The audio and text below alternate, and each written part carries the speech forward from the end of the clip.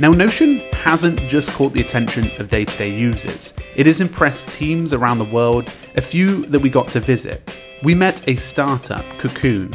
Yet to be released, their team consists of Alex and Sachin. So we sat down with them to discuss how they use Notion. Uh, I'm Alex Cornell, uh, interaction designer at Cocoon. Uh, Sachin Monga, uh, co-founder, both of us at Cocoon. Cocoon recently achieved funding from Y Combinator, a popular investment backer here in the US, and they use Notion to help them achieve this. Yeah, so Cocoon is a dedicated space to keep one small group close over time and distance. Um, so it's just a single space on your phone just for those people. Yeah, it, well, so I think in the, the in the olden days, especially, you would definitely create like this really long slide deck, and that would be what you would go and use as your fundraising yeah. materials and send it out to investors and use it for your presentations. We actually just used Notion. We created um, a page and we made uh, a publicly accessible link, and we had all of our material in there, and it was it was great because we have your visuals, we have our data, we have nice narratives, um, and we yeah we ended up we never made a deck actually. So yeah. all, all, of our fundraising to date has come just through Notion essentially. Notion is being used by many others to get things done in their busy work lives and personal lives. We bumped into David Pierce of the Wall Street Journal for a coffee. Now, for those who don't know, David wrote a fantastic article in the early days of Notion covering the news that it was launched, and we also did a feature with him here on the channel, so it was awesome to meet him in person. During the time in San Francisco, we also got the opportunity to do a small meetup with Notion users from the Notion Made Simple group. We met Skylar, Alex, Sumo, and Michael, and me and Joel had the opportunity to grab a coffee to discuss how we all use Notion. It was amazing to see the different and various uses of Notion, and Alex uses it with her non-profit, which has 90 members inside it. And Michael actually organising his choir group. Skylar used it to organise his personal life, and the same with Sumo, but with his new and upcoming startups. So the use of it was pretty incredible. So next up was Simon. Now Simon is Notion's other co-founder and works now as head of product on the team. He spent a lot of time with Ivan in the early days back in 2015 and continues to work alongside him today on Notion's new path. How did that story begin? How did the story begin? yeah. Well, okay, so um, originally I met, the, there was originally a third co-founder. Okay. This guy, uh, Toby Schachman. Okay. Um, and I I met Toby on Twitter originally uh, because we had a mutual interest in visual programming languages and kind of democratizing programming. So at the time I was obsessed with making uh, uh, visual programming environments for children. Yeah. And, and Toby was kind of making like visual programming environments for artists. Mm. Um, and so I was a fan of his. Yeah. So met on Twitter. And then I, I was out here for an internship in the South Bay. Okay. Um, and within a couple hours of meeting, um, uh, uh, Toby and Ivan, Ivan had convinced me to, to quit the internship and to spend at least the rest of the summer working on Notion. And then a couple weeks after that, I decided to uh, drop out of school, and I've, I've, I've, been working on Notion ever since. And go for it.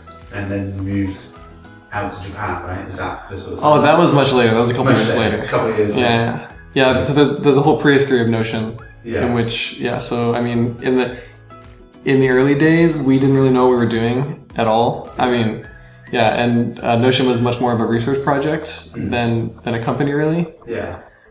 Um, all we were really working from was kind of a vague aspiration to like democratize programming, democratize computing in some way. Yeah. And, and we built uh, we built uh, a few prototypes along those lines that weren't really good products, but were kind of interesting. Yeah. In some ways. Yeah.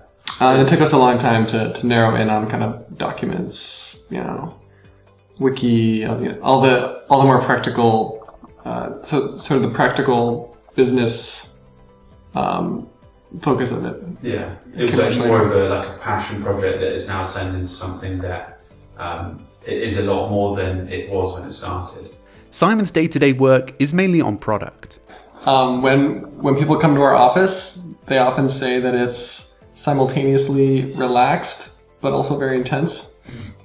And and I really like that contradiction. I think it kind of sums up a lot about us. Um, we're we're very relaxed and open and comfortable with each other, but also, you know, very focused on what we're trying to accomplish. And, you know, even though we have an open office, sometimes it's like a library in here because we're all, you know, drilling away what we're trying to we're trying to accomplish. Yeah, yeah, I've noticed that. That's, I think that's good though. That's, that's Yeah. that- healthy for work anyway.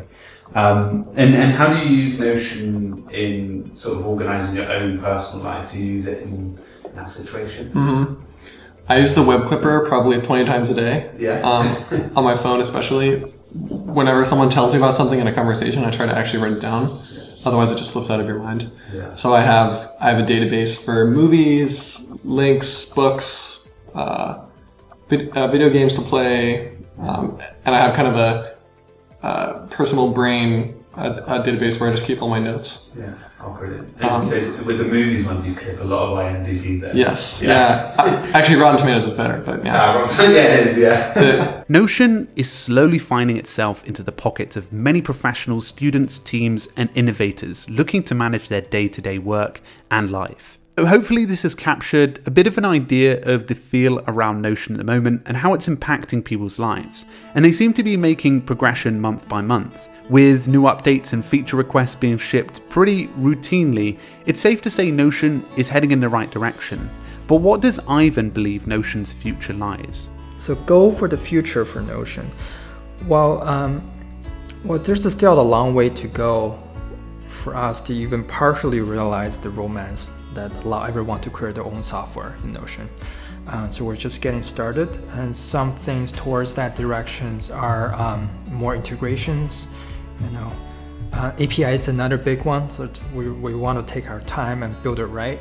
And uh, and in general, we just want to make Notion to be faster and lighter. You know, we want to be the first destination whenever you have an idea to capture for yourself or for your business, and from there, you, know, you can customize your workflow So, of course, Notion is in its early days. Their feature range is expansive, but can lack total optimization for someone looking, for example, for a specialist note taker or an advanced task manager. But Notion are adding features, and it can be shaped to any of your needs. They're listening to their customers, and they have a new market to play with the modular productivity space.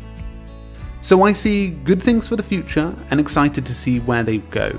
Thank you to the Notion team for hosting me for the week, and there will be a couple of spin off videos from this, guys. For example, a full chat and sit down with co founder Ivan.